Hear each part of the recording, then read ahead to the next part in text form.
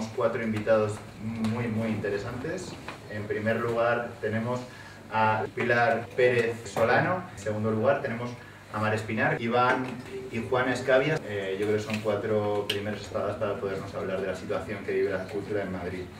Nuestro modelo empezó con un pacto cultural. Nosotros creíamos muy importante después de la, de la etapa del Partido Popular que el sector se sentara, se viera representado en sus instituciones, que pudiera eh, no crear la línea política, porque entiendo que eso es el papel que tiene un político, pero sí por lo menos encaminar, iluminar a los políticos en lo que estaba haciendo falta, en, lo que, eh, en las carencias que estaban teniendo después de 26 años de abandono. Eso fracasó estrepitosamente, fue la primera proposición que llevé al Pleno, no la aprobó ni ahora Madrid, ni Ciudadanos, ni, ni, el Partido Popular. Una de esas medidas que, que yo creo que, que más identifican esa política ha sido el bono cultural, que ahora Madrid ha transformado en jobo, que es solo el bono joven, pero no es lo que nosotros propusimos. Nosotros era un bono que abarcaba a, los jóvenes, a los mayores de 65 años con pensión retributiva, a las personas con discapacidades, se sentaron con nosotros y nos dijeron o, o lo hacemos o lo acotamos o no sale. Entonces dijimos, o lo acotamos.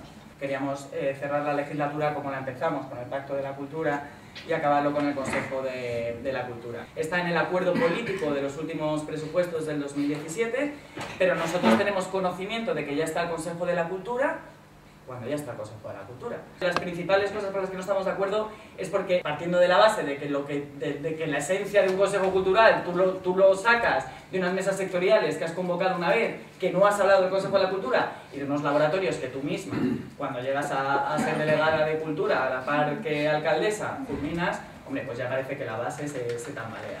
Yo creo que, que la cultura, la línea cultural de una ciudad la tiene que definir el partido político que, que, está gobernando, por supuesto siempre escuchando al sector, por supuesto sin politizarlo, sin ser sectario, garantizando el acceso, garantizando la calidad de lo que estás programando. Pues creo que ahí es un, es un, es un, es un grave problema que, que estamos teniendo, nos, nos está llegando a todos la boca con la participación en la cultura, con todo el mundo tiene que opinar, todo el mundo tiene derecho a crear, todo el mundo tal, por supuesto, pero, pero tiene que haber una línea. Y creo que ahí Ahora Madrid se ha desmarcado mucho. Hay una cosa que nos diferencia muy claramente de Ahora Madrid, y lo he visto desde el principio de la legislatura, no solo en cultura, pero en cultura especialmente, y es que Ahora Madrid no cree en la gestión pública, y nosotros sí. Ahora Madrid no apuesta por la gestión pública, apuesta por una cogestión, por una autogestión, por una gestión público-social, pero no cree en la gestión pública. Yo creo que el Partido Socialista sí creemos en la gestión pública, tienen que ser las instituciones públicas las que garanticen tanto la calidad como el acceso a, las instituciones culturales que tenemos, a los contenedores, a todo, a todo lo, que, lo que ofrecemos. Para nosotros sí era muy importante que, eh, que unos concursos públicos eh, que se hicieran para los seis grandes contenedores la ciudad de Madrid salieran desde el sector, o por lo menos con unas bases objetivas, que no permitiéramos pervertir los, los, los espacios hasta el punto de, de, lo, que nos, de lo que nos hemos encontrado con, con, la, con, las naves de, del matadero. Los principales logros como eh, dentro del área han sido el juego, pero que ya os he dicho que no, que, no, que no es exactamente lo que nosotros queríamos, la paralización de los modelos nuevos de centros culturales que quería el gobierno de, Ahora Madrid. Somos partidarios de que hay que dar una vuelta a los centros culturales, pero no, eh, no como lo que estaban proponiendo. Luego eh, hemos conseguido el cuarto centenario de la Plaza Mayor, el aniversario de Gloria Fuertes, que, que creo que estuvo, estuvo, muy bien, el bienio galdosiano, que se tiene que, que, hacer este año, el cuarto centenario de Cervantes, que no hubo manera de que ahora Madrid lo quisiera celebrar, y el aniversario de Tierno Galván. Tenemos el, el, el, proyecto de Compartiendo Muros, se trata de coger, en esta ciudad hay muchísimos muros municipales que están grises, están sin pintar, están, son tristes, eh, y los muros los pintan eh, artistas urbanos del barrio. He recalcado mucho el patrimonio cultural.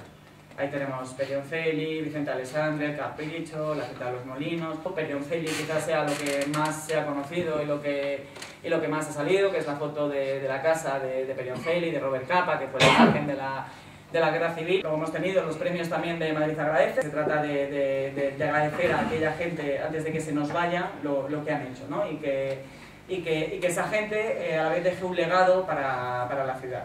Luego, otro de nuestros intentos ha sido garantizar la actividad cultural no solo en el centro, sino en toda, en toda la ciudad. Hemos propuesto la Noche en Blanco, que nosotros metimos como enmienda, que nosotros peleamos durante dos años, abrir durante una noche, evidentemente, los museos, los sitios de referencia, pero también intentar eh, llevar la actividad cultural de la gente a los distritos. Eh, eso es lo que se pactó, eso es lo que se acordó y en cuestión de una semana antes de, ya empezar con la Noche en Blanco, nos encontramos con la Luna de Octubre para hacer una promoción del eje Prado-Retiro porque venía la UNESCO y luego ya por último decir bueno que tanto la escuela, las, escuelas de música como la escuela de arte dramático las llevamos nosotros desde Cultura. Estamos eh, trabajando mucho en, en, intentar recuperar al sector cultural para que, para que se sientan identificados con, con nosotros. Creo que hemos, ganado, que hemos ganado mucho, pero estamos en una situación muy difícil, porque no dejamos de, de estar apoyando a un gobierno que, que, al final no está respondiendo a las, a las expectativas, ni a las nuestras, ni a las del sector lo que se solicita desde, los, profesionales, desde las asociaciones, es tener un planteamiento, es saber qué cultura queremos, en este caso que estamos hablando para Madrid, pero que nos serviría para cualquier eh, ciudad o cualquier comunidad autónoma con la que estemos trabajando. Después de muchos años de gobiernos del PP, em, ahora queremos que todo sea muy transparente, que es lógico, y queremos que todo sea muy Em, que sea muy, muy claro, muy abierto.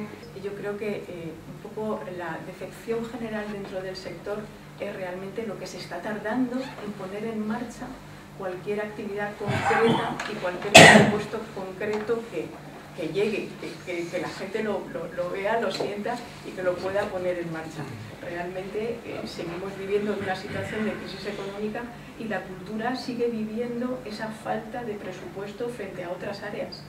Entonces eh, no se, se, destina lo mínimo y creo que es un área de vital importancia. O sea, a través de la cultura se transmiten los valores, se transmiten las ideas, se transmiten eh, cosas que son fundamentales para, para, la sociedad. La maravillosa red de centros culturales que tenemos, que nos hizo don Enrique Tierno Galván, no lo olvidemos, todas las instalaciones culturales que tenemos en Madrid provienen de la época del PSOE y el último plan cultural que se hizo fue el de Barranco, heredero de, de Tierno Galván. No se ha vuelto a hacer ningún plan cultural en Madrid desde entonces. Pues bien, había muchos problemas porque esa red que, era la, eh, que funcionaba por Madrid Distrito, eh, que rodaban las compañías y que había un poco de cancha para que la gente trabajara, se acaparó. Se acaparó por parte de una persona, no voy a decir nombres porque tampoco creo sean ciudadanos, tú sabes quién es. Y mmm, a la desfachatez de que ellos, ellos tenían una compañía, pues a las suyas les pagaban siete veces más que a las otras y acapararon todo. Las compañías residentes eran otro problema que había, eh, estaban todas dadas a dedo, pero es que tiene que haber un mínimo de calidad. Si no hubiera investigación en la medicina, no nos curaríamos. Y ese es uno de los grandes errores de, de Podemos, que confunde el acceso a la cultura que es lo que hemos defendido siempre los partidos de izquierdas, que los ciudadanos puedan tener acceso a la cultura, con el acceso a la cultura como practicantes de esa cultura. Entonces, ahí lo han desbaratado todo. Cuando estaba el Partido Popular, la situación en Madrid es lamentable. Eh, donde quiera que ellos van, no quieren la cultura porque saben que hace gente pensantes, que hace una sociedad progresista y los que vivimos de la cultura y pensamos somos sus enemigos.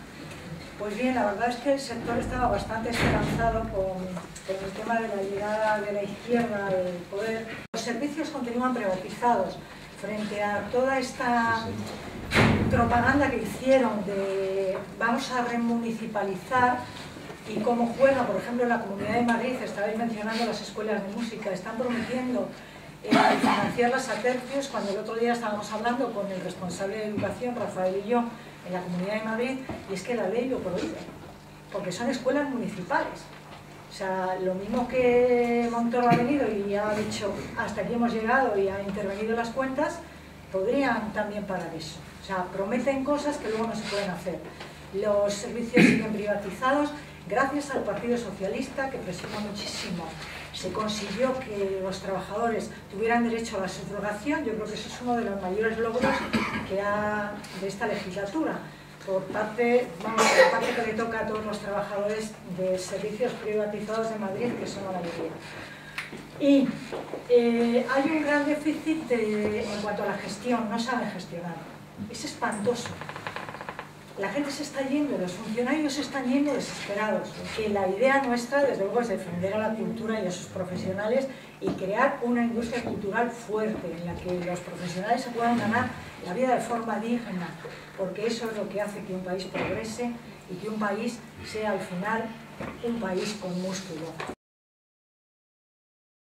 Quería detenerme primero en, hacer una reflexión general y luego una proyección ¿no? de lo que creo que, debería ser esta comunidad. En primer lugar, y antes he apuntado, eh, la cultura tiene muchas perspectivas, hay muchas aproximaciones para, para afrontar el, análisis de lo que es la cultura y de, para qué sirve la, la cultura. ¿no?